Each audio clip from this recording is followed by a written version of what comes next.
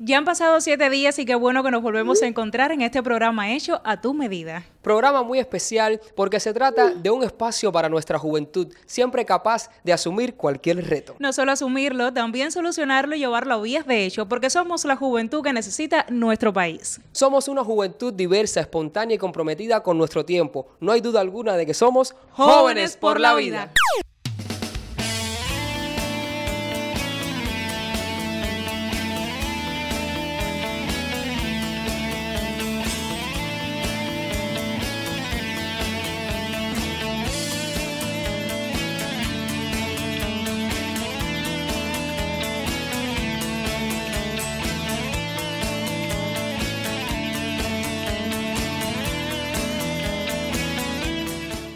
Hemos llegado hasta la Universidad de Ciencias Pedagógicas Enrique José Barona. A mi lado, un anfitrión conocido por nuestros seguidores. Es el profe Marquitos y nos estará acompañando durante todo este maravilloso recorrido dedicado a los 60 años de la universidad. Muchas gracias, Magda. Así es, estaremos con ustedes compartiendo y conociendo de bien cerquita la educación en Cuba. Todos los cubanos defendemos que hay que ayudar a desarrollar el pensamiento de las personas, porque luego éstas pueden contribuir a un mundo libre de miedos, inseguridades y enfermedades. Así es, y sobre todo que la principal labor de un maestro es convertir a sus estudiantes en ellos mismos, desarrollando sus potencialidades.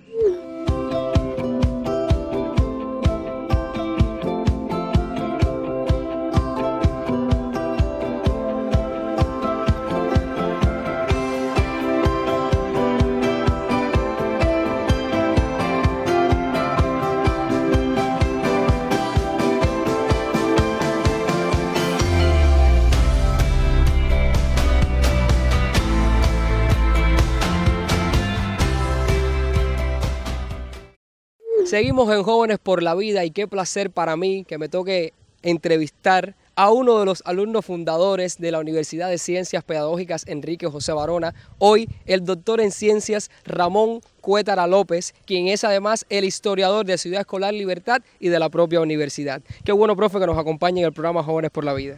Para mí es un honor, un placer además que me hayan seleccionado porque el único mérito que yo tengo en mi vida es haberle dedicado a Alvarona desde los 13 años hasta hoy toda mi vida estudiantil y laboral. Eso ha hecho que, que llegáramos aquí el 5 de enero de 1964 y nos, nos mantuviéramos hasta hoy contra viento y marea. Y hemos visto crecer el Barona y llegar a ser hoy una universidad de excelencia.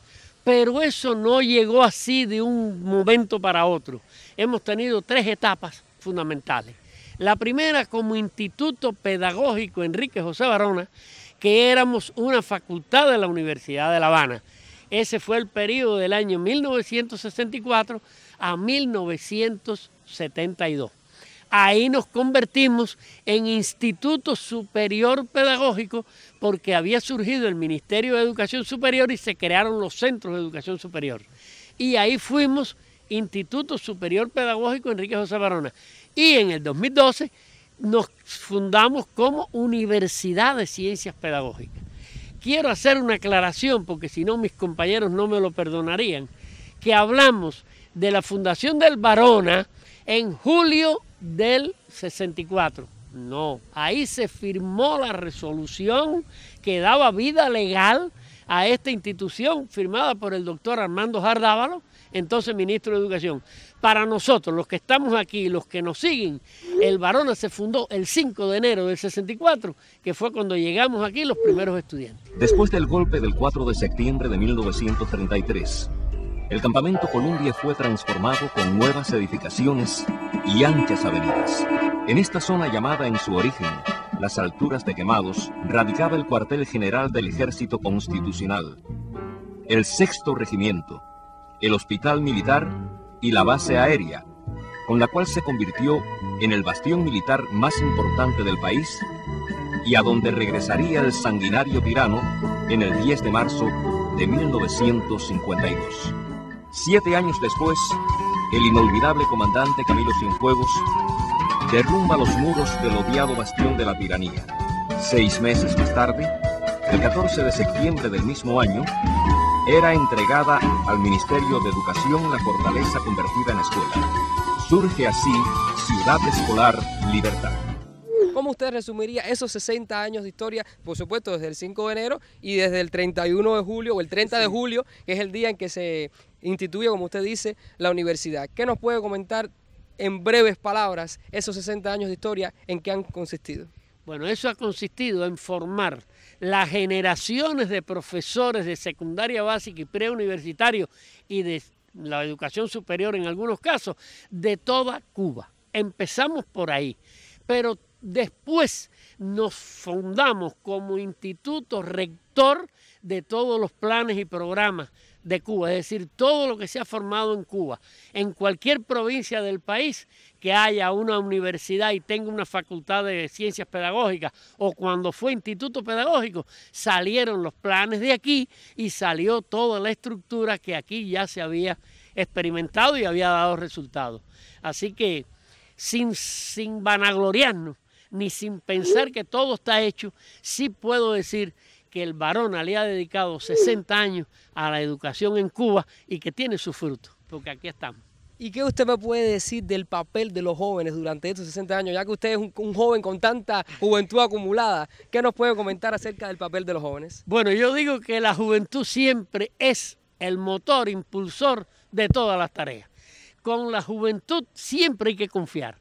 Ah, hay que prepararlos para eso. Pero no creernos los viejos, que lo sabemos todo y que los muchachos no tienen nada que hacer aquí. No, hay que preparar a la juventud en esta misma línea porque son los seguidores y son los que hoy ya están asumiendo los cargos de responsabilidad que tuvieron otros compañeros que ya muchísimos de ellos no existen. Pero la juventud siempre es el futuro y tenemos que apostar por ella en todos los momentos.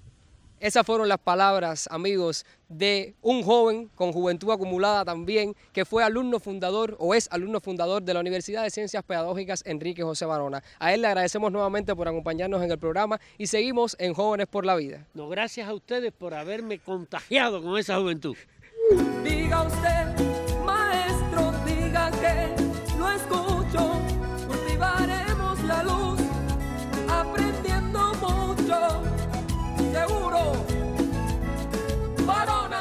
Continuamos de recorrido por la Universidad de Ciencias Pedagógicas Enrique José Barona. Ahora me encuentro con el profesor Héctor. Buenas tardes. Muy buenas tardes para ustedes.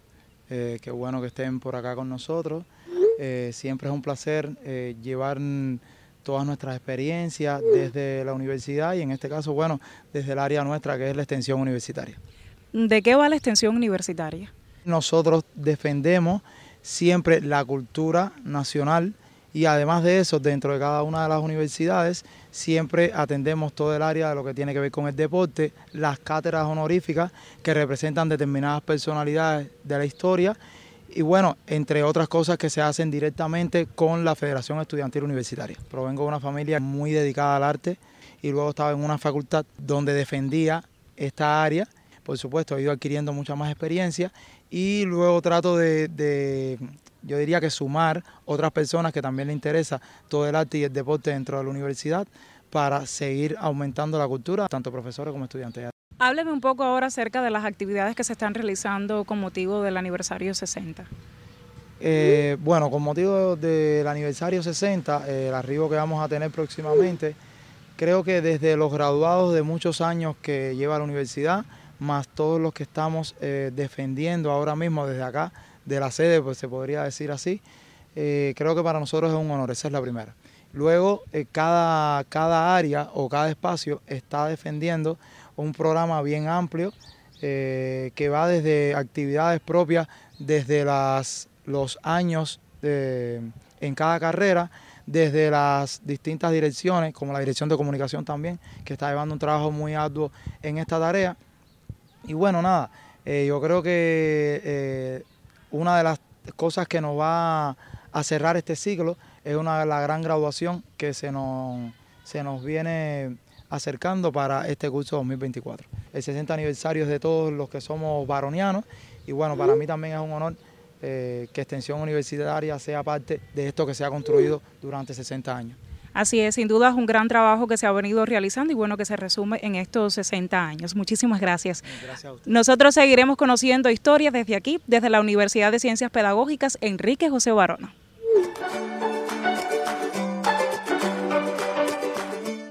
Expresaba nuestro comandante en jefe. Para nosotros es decisiva la educación y no solo la instrucción general, inculcar conocimientos cada vez más profundos y más amplios a nuestro pueblo, sino la creación y la formación de valores en la conciencia de los niños y los jóvenes desde las edades más tempranas. Y hoy eso es más necesario que nunca. Soy estudiante de la carrera de Biología y Geografía de la Universidad de Ciencias Pedagógicas Enrique José Barón. Opté por esta carrera porque los profesores de mi preuniversitario de la Escuela Militar Camilo Cienfuegos de Caldevila me motivaron por la manera de impartir sus clases, por su profesionalidad, su dedicación, su entrega a cada uno de sus estudiantes. Soy graduada de la carrera de logopedia y aunque no fue mi primera opción para ingresar las filas universitarias, creo que hoy por hoy fue la mejor elección que pude hacer porque es una carrera que me encanta y, y bueno, quisiera trabajar muchos años siendo logopeda. Durante un tiempo pensé que la carrera de español literatura era una carrera que no se ajustaba a mis intereses personales. Fue una experiencia muy grata llegar hasta ese momento y percatarme de que aquí estaban verdaderamente mis potencialidades. Y continuamos conociendo historias desde la Universidad de Ciencias Pedagógicas Enrique José Barona. Ahora me encuentro en el Museo Nacional de la campaña de alfabetización. A mi lado, su director. Buenas tardes. Buenas tardes, muchas gracias y es un placer para mí participar en el programa. El placer es todo nuestro. Hábleme un poco acerca de este museo. Este museo es único, es único en el mundo, posee una gran historia. Se fundó el 29 de diciembre de 1964, por lo que estará cumpliendo 60 años.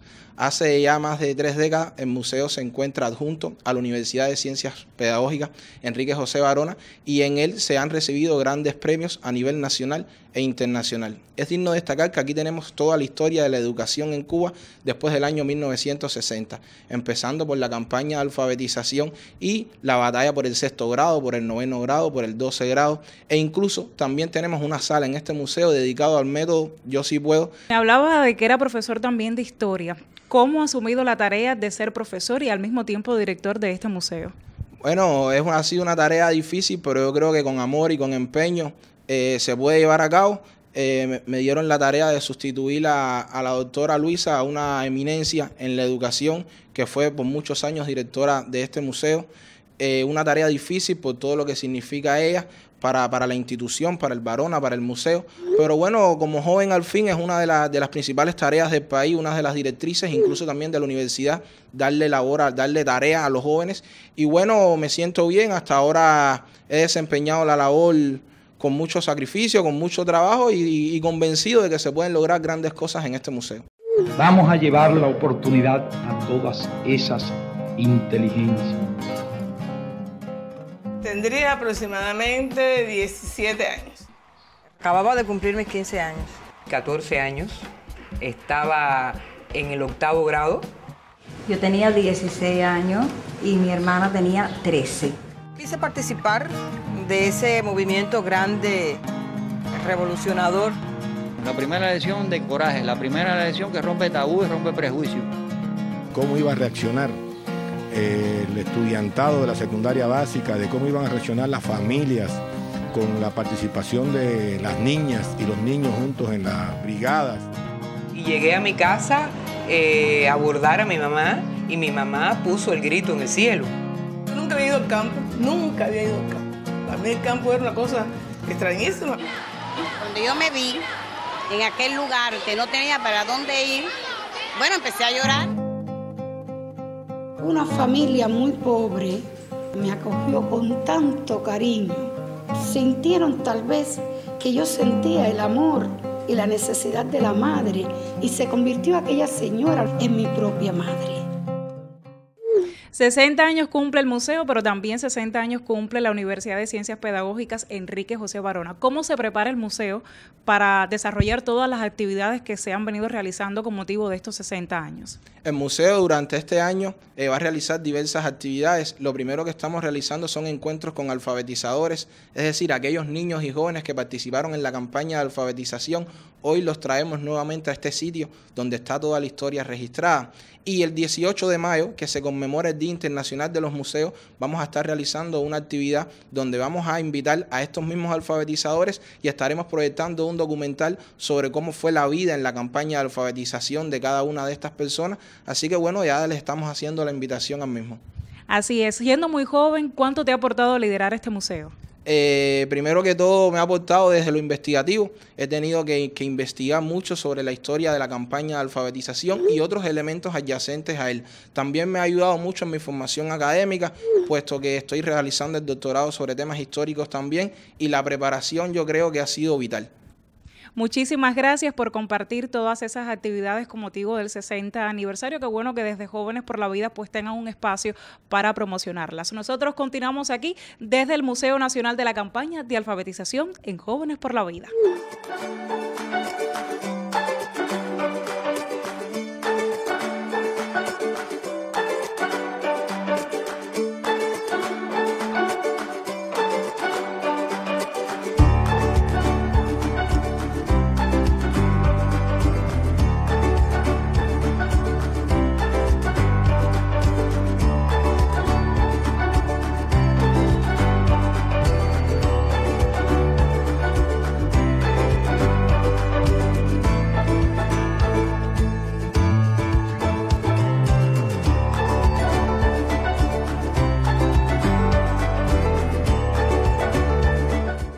Continuamos en Jóvenes por la Vida en la Universidad de Ciencias Pedagógicas Enrique José Barona, esta vez compartiendo con el profesor Yacer Martín Guillén, quien es el director de Recursos Humanos de la universidad. Buenas tardes, profesor. Buenas tardes.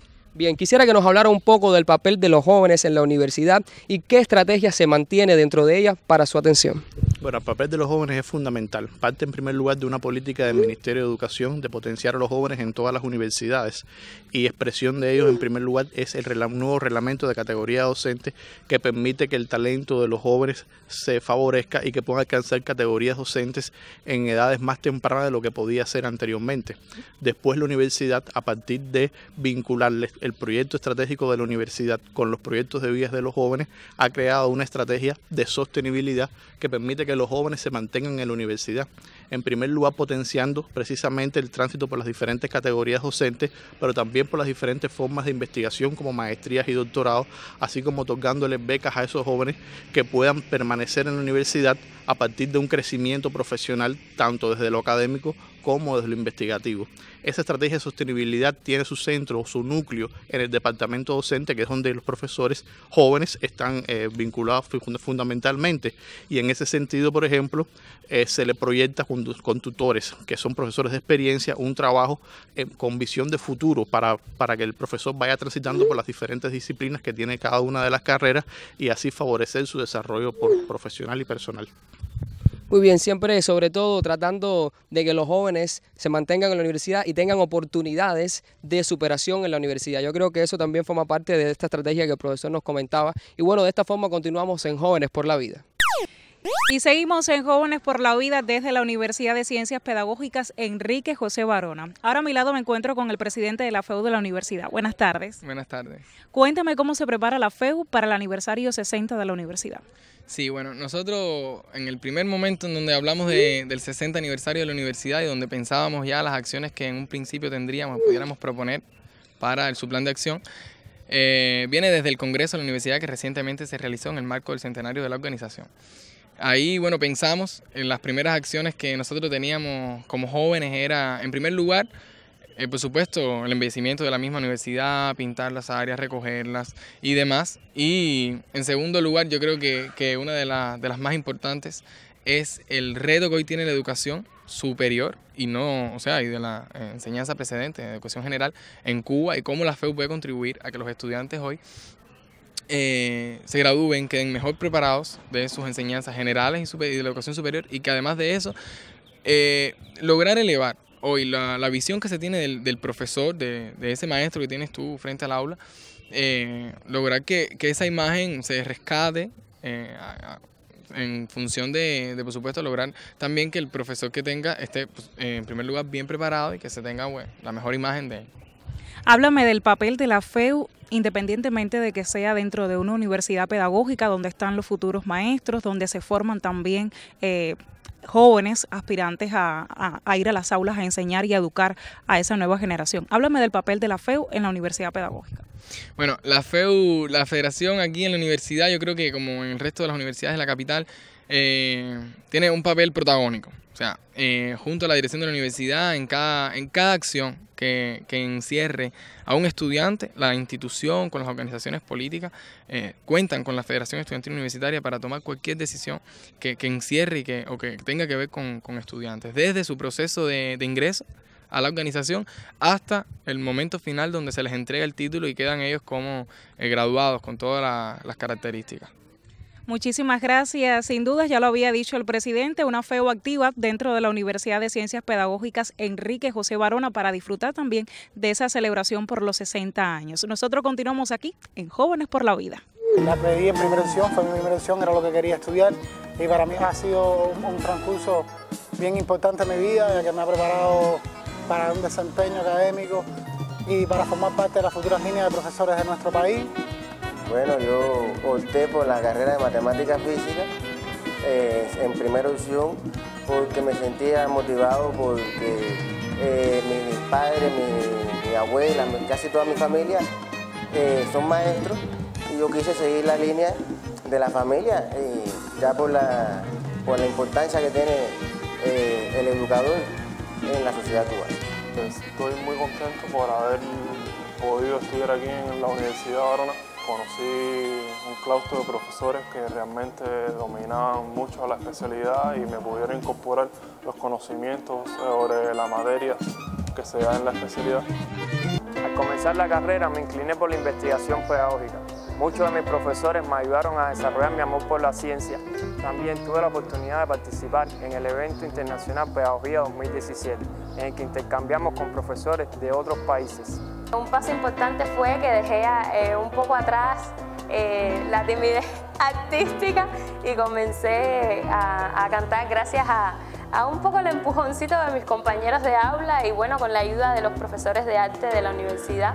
Y fue un, una gran experiencia el haber pasado por los festivales de la universidad, los festivales de aficionados al arte, donde bueno, ganar el Festival Nacional de la FEU fue una experiencia magnífica. Gracias a la Universidad de Ciencias Pedagógicas Enrique José Barona por graduarnos, por permitirnos incursionar en las diferentes esferas que hacen que hoy seamos estudiantes integrales.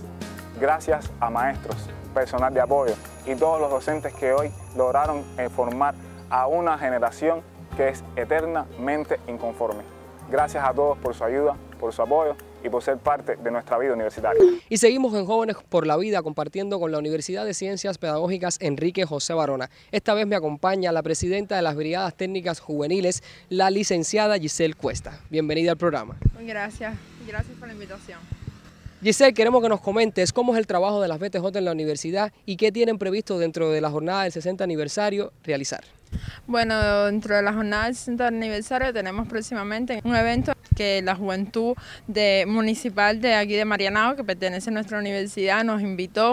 Es un, es un evento bastante amplio donde se va a ver todo lo referente a la economía verde, a proyectos locales que, que se puede tener aquí en, dentro de la Ciudad Libertad, el parque temático pedagógico, donde, donde las BTJ tienen un papel fundamental, ya que es la parte investigativa de, de la universidad, donde también van a estar incluidos la juventud, la FEU y diferentes profesores que se dedican a la investigación, donde el Departamento de Ciencia, Tecnología e Innovación está muy, muy vinculado con los jóvenes, con ayudarnos a la juventud de Barona, a las BTJ de Barona, para eh, seguir innovando y darle desarrollo a, a diferentes investigaciones. Bueno, ¿qué nos puedes comentar acerca de los trabajos que realiza la Facultad de Ciencias Técnicas, que por supuesto es la facultad que más aporta a las BTJ por su característica fundamental, que son las ciencias técnicas, y qué aportes y resultados nos puedes comentar que tienen con respecto al trabajo de las BTJ? Bueno, en la, Facultad de Ciencias Técnicas está un grupo científico estudiantil llamado Mayanabo, que es referente, eh, que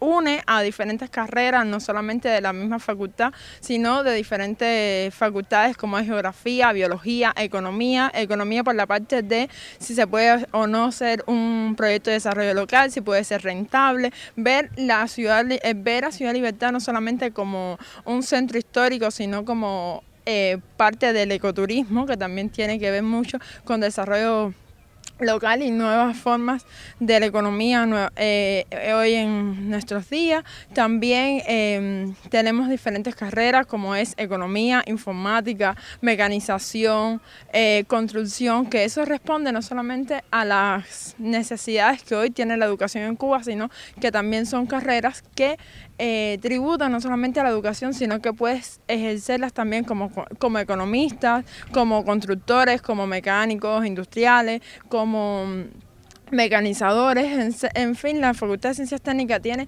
una cantidad de carreras con doble perfil. No, y sobre todo hablando del tema de cómo esas actividades se planifican y se realizan en la comunidad y la relación que tiene la, universidad con la comunidad, que era algo lo que tú mencionabas cuando hablabas del proyecto Mayanabo, y por supuesto que tenemos que tener en cuenta para el desarrollo de la formación integral de los profesionales que aquí se gradúan. Muchas gracias a Giselle por toda la información y seguimos en Jóvenes por la Vida.